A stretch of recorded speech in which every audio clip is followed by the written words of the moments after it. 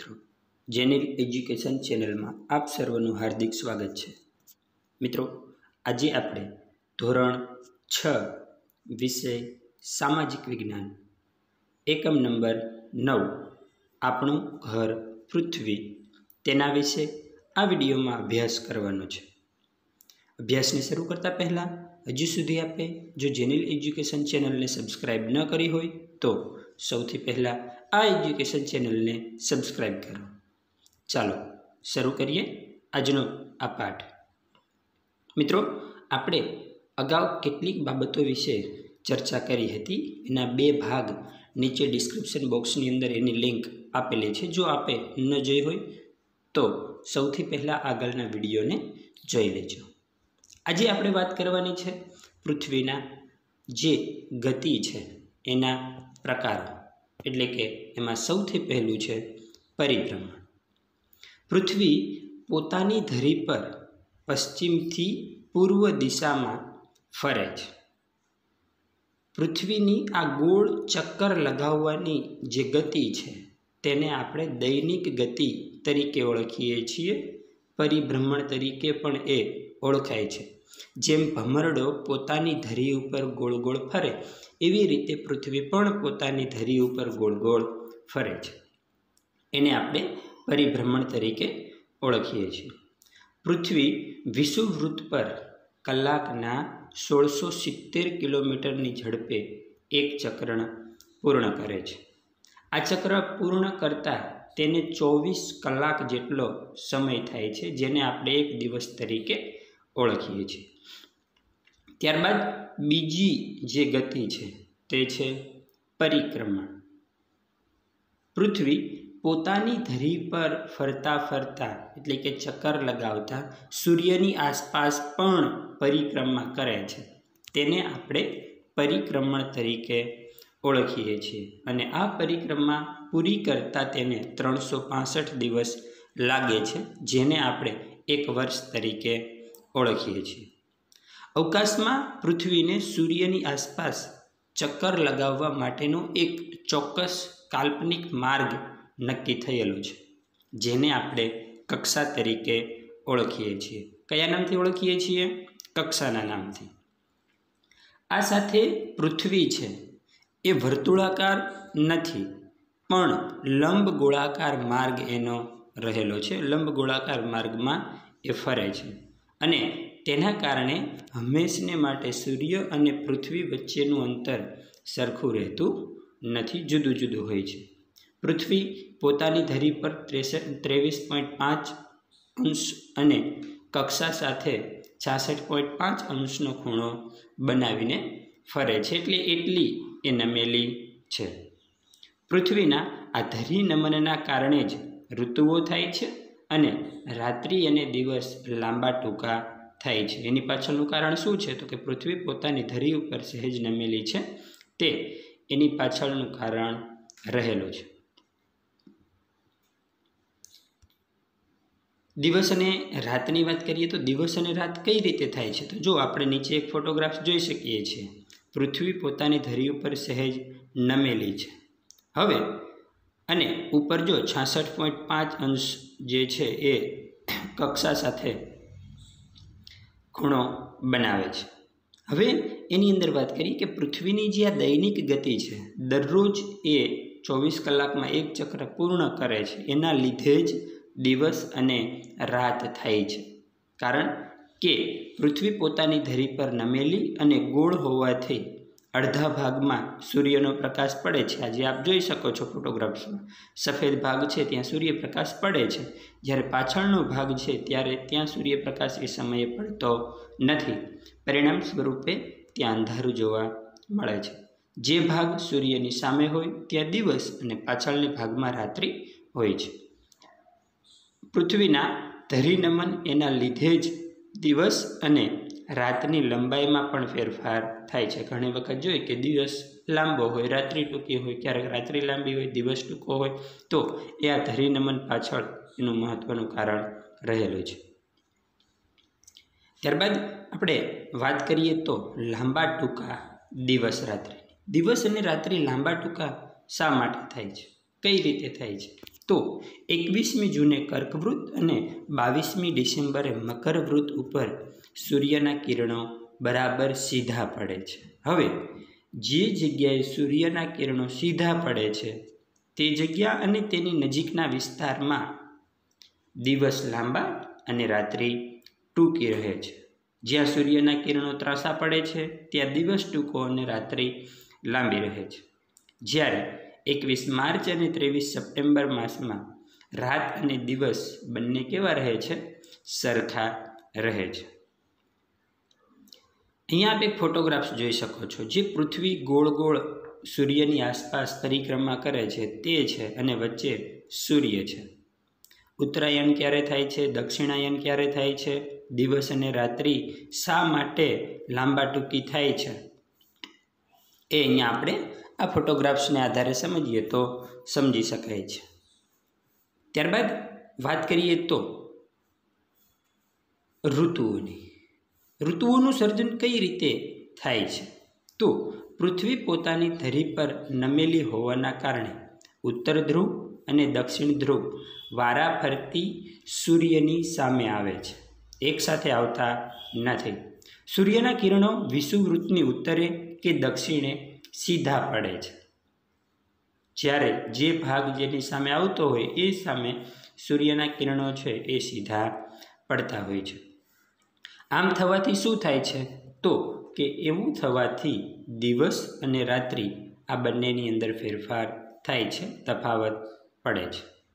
વધારે સમય સૂર્ય મેળવતો જે વિસ્તાર છે સૂર્યનો પ્રકાશ મેળવતો જે વિસ્તાર છે, ત્યાં ઉનાળો અનુભવાય છે અને જ્યાં સૂર્યનો પ્રકાશ ઓછો મળે છે અથવા તો ઓછો સમય પ્રાપ્ત થાય છે, ત્યાં શિયાળો અનુભવાય છે. આપણે અનુભવતા હોઈએ છીએ કે શિયાળાની અંદર રાત્રિ લાંબી હોય છે, દિવસ ટૂંકો હોય છે, ઉનાળામાં, તો કે ઉનાળામાં દિવસ લાંબો હોય છે, રાત્રિ ટૂંકી હોય છે.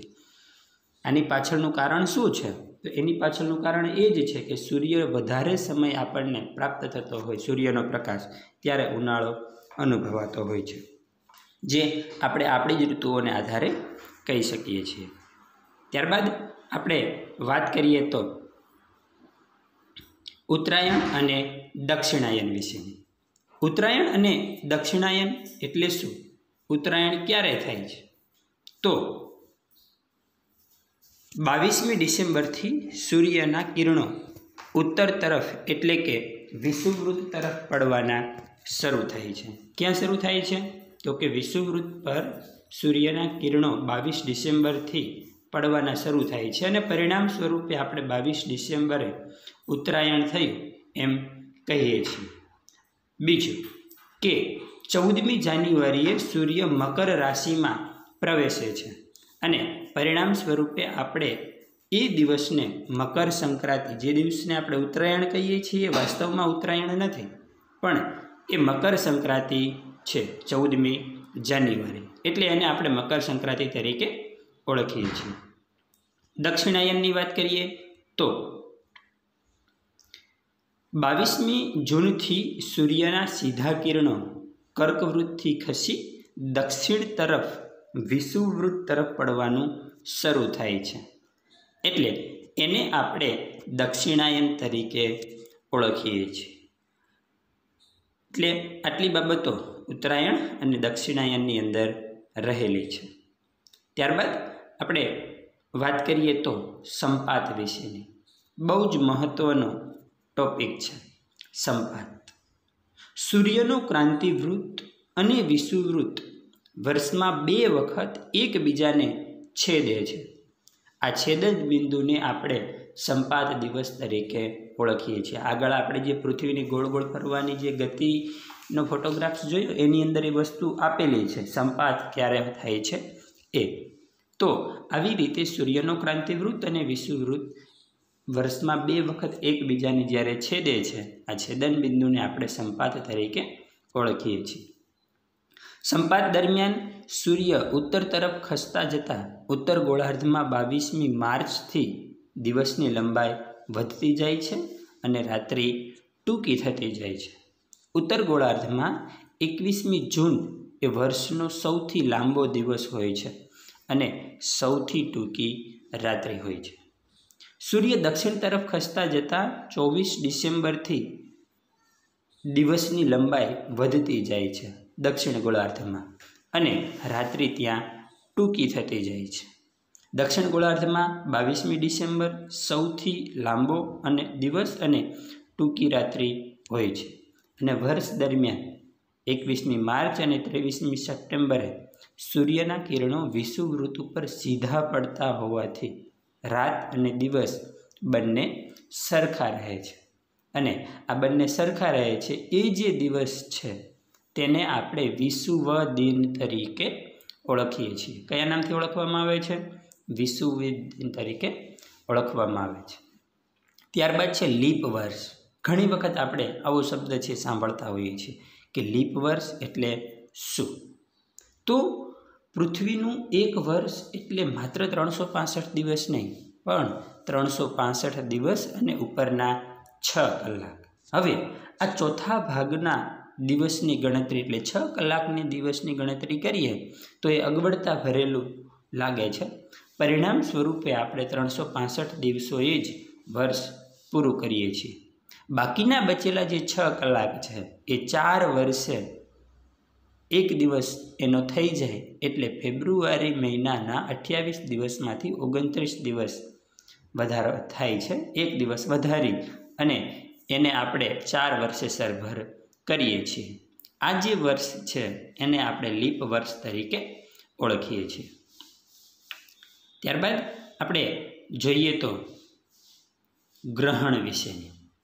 ગ્રહણ એટલે શું? ઘણી વખત આપણે શબ્દ સાંભળતા હોય સૂર્યગ્રહણ ચંદ્રગ્રહણ આ શું છે?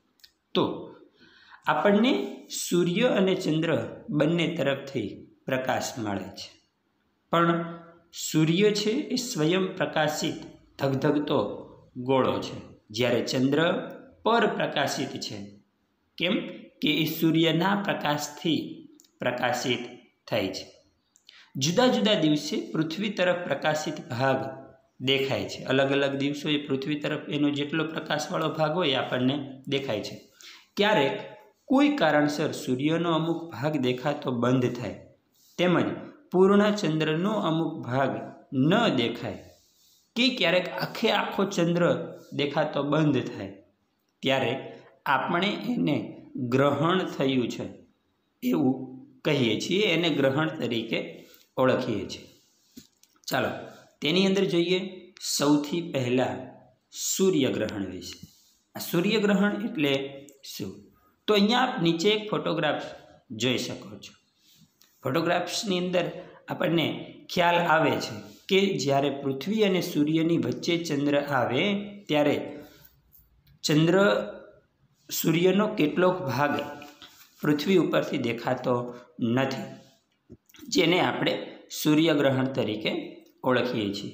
ચંદ્ર પૃથ્વીથી વધારે નજીક છે અને એ શું કરે છે, તો એ ચંદ્ર પૃથ્વીનો ઉપગ્રહ છે એટલે એ પૃથ્વીની આસપાસ ગોળ ગોળ ફરે છે.